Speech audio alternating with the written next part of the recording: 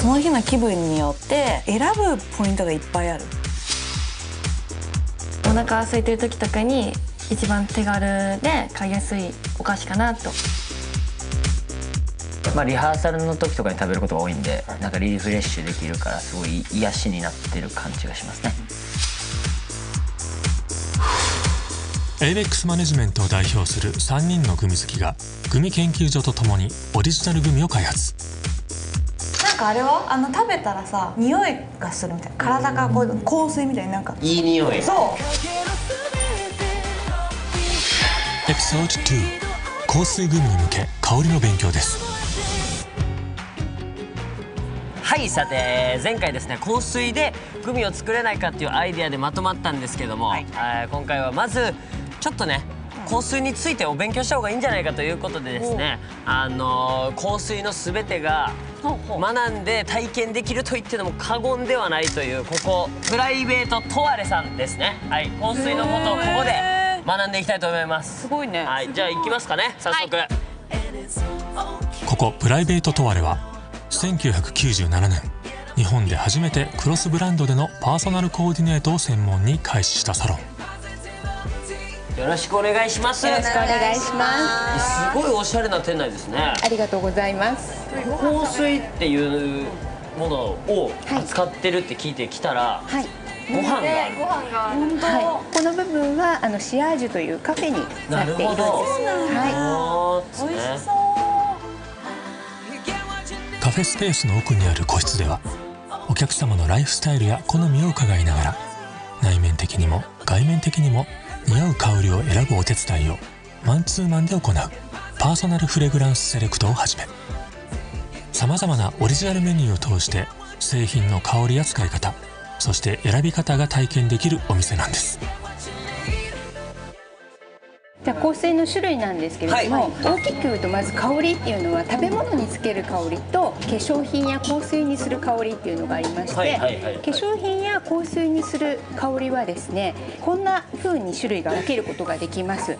シトラスグリーンということでこれは柑橘果物、はい、そういったものを中心にしながら葉っぱの青々しさまで表現したもの。レモンだとか、はいはい、オレンジだとかグレープフルーツだとか緑を感じるような香り今度は葉っぱではなくて木の幹のような香りですからもう少し落ち着いた雰囲気で、えー、神秘的なしっとりした香り。そしてオリエンタルというのは、えー、中近東原産のスパイスだとかあとは動物性香料動物から取った香りなんかも、えー、特徴的に使われているものになります。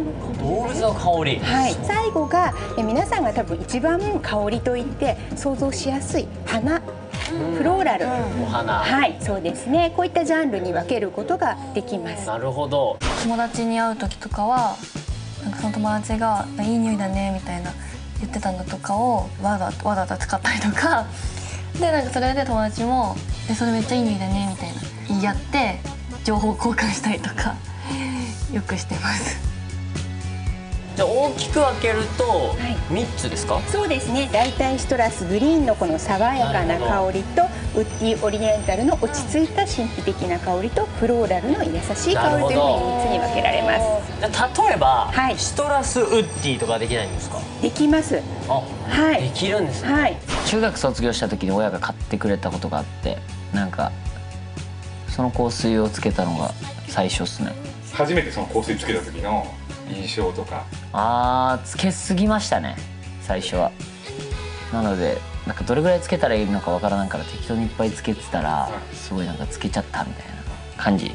見てました例えばシトラスだったらキュートだったり若々しいイメージがシトラスにはあります。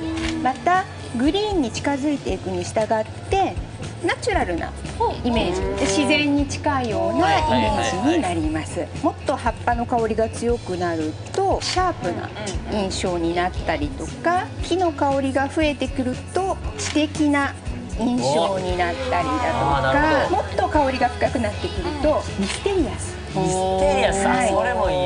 中近東のそのスパイスやアニマリック香料を重点的に使ってくると今度はセクシーなお感動的な雰囲気を醸し出せます。セクシー。はい、花の香りが多くなってくるとエレガント。ソフトなるほど。でエレガントなイメージになってくるわあーなるほどね、けですはい、イメージは今足したようなものが演出できるんですけれどもおっしゃってたようにシトラスウッディだったら爽やかさと落ち着きが相まってくるというような調整もできるわけです、なるほど。なんかうちにも結構何種類か香水が置いてあるんですけど彼とちょっとお出かけするとかになるとやっぱ女性っぽい香りつけたがりだしあと結構女友達と会うとかだとちょっとメンズっぽい香りつけてたりとか会う人とか場所によってちょっと変えてますね。うん言葉だけではなくてぜひ香りで体感してみてください、はい。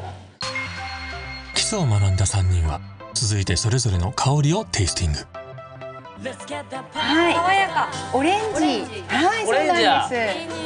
あの美味しそうで元気が出るようなオレンジの香り。お腹空いちゃいますよね。はい。は ああそれね知ってますか？これイチジクの香りですいね。あー素晴らしそうなんですよ。僕イチジクの香水を使ってまして。全く同じやついそうなんです。 Roger & Gallet というブランドのフィグ。その名もイチジクというフィグパフュームという香りなんですけど。ジューシーな香りがするそうなんですよ。ちょっとキュートを演出したくて仲良く香っていただいてこれね大好き。すごい好き。はい、ナチュラルでシャープです。すっきりした葉っぱと柑橘の香り。めっちゃ好きこれ。はいさまざまな香水の特徴を学んだ3人。最後にグミに合う香りを学びます。どうします？ちょどうします？っと悩みますよね。なんかもういいのがありすぎて。どれも美味しそうな感じそう美味しそうなの。でもまあなんか大人なうん。爽やか。大人爽やかね。大人女子な？あの午前中の。ちなみに。年中の大人女子大石さんみたいな感じですね。まあベースを柑橘にして大人っぽさをフローラルで出すのかスパイスで出すのかなるほど。甘いスイーツ系のバニラで出すのかっていうところでどれかを絞っていけば。お。そっか。ああそういうことか。いいですね。いいこんなね感じでじゃあこのアイデアを持ってグミ研究所の人たちに伝えますかね。そうしましょう。はい。今回香りを基礎から学び多くの知識を得た3人。果たしてグミ研究所とともに完成を目指す香水グミのアイデアはより深まったのでしょうか？なんかもともとは結構もっと香水っぽいイメージを意識してなんかあのグミ作るってなった時は。なんかやっぱりじゃあ香水グミみたいなのでやっぱもうちょっと香水っぽいのを意識してたんだけどやっぱいざ口に入れるってなったらやっぱ美味しい方がいいな。美味しくていい匂いっていうのがやっぱりこう一番落ち着くいいとこだなって思ったんで。なんか香水をグミにするって最初はなんかへえと思ったけどでもなんかちゃんと話を聞いて自分たちで試してみたら結構ありえるなと思ったし私はフローラルな香りが好きだからそういうのもなんか反映されそうだなってちょっと思いました。なんかこう自分の好きな匂いみたいなのもやっぱり統一されてたというかあこれが好きやなと思った匂いはやっぱあの自分が普段使ってるやつに近かったりとかしてたのであやっぱ人間の本能で匂いっていうのは選んでるのかなと思いました次回大石江ノ沢花村3人の香水組のアイデアが明らかになります。